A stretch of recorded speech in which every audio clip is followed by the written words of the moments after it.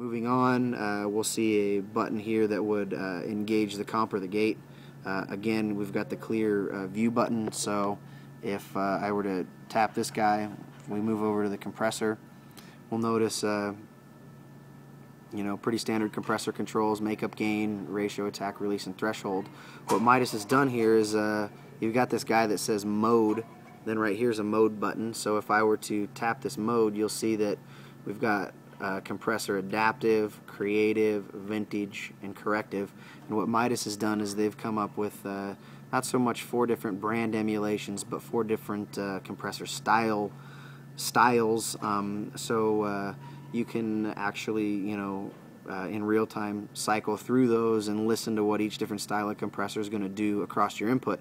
Um, and if you'll notice, as I hit mode, uh, None of the uh, parameters change, ratio, threshold, makeup, release, attack, all of those stay the same. It's just going to change what kind of compressor. Um, these are not a plug-in, this is all straight onboard DSP, so this isn't using up uh, any processing power or anything like that.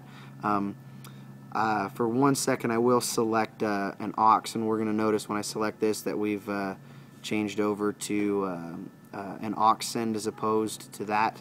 I'm now going to select the compressor section for the aux send and you'll see here we've got a, a, a fifth one called the shimmer compressor and this is a, a compressor that uh, Midas is geared really straight towards uh, outputs and this compressor is only available uh, in an output. Any of the uh, groups, uh, matrices, buses, um, or the uh, left, right, and mono buses um, have this available to and you cannot access the shimmer compressor from an input uh, mainly because this compressor was designed uh, for an output. So we will go back to our input channel.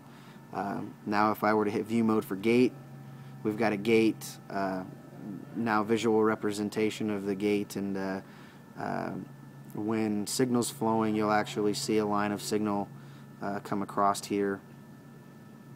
just for the sake of being able to see something, let's actually turn on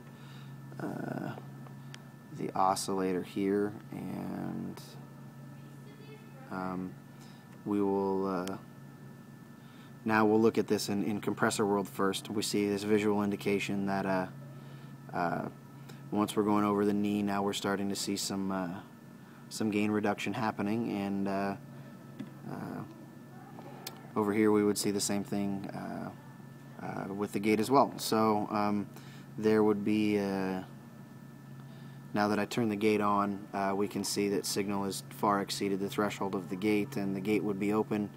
Um, if I raised the threshold of the gate, which we can see now, we would notice that uh, the gate has slammed shut and uh, no signals passing. We can let that guide back down and see that uh, that signal is opening and closing it. If I disengage the gate, uh, it doesn't route any signal through the gate, which uh, I find to be a relatively nice feature.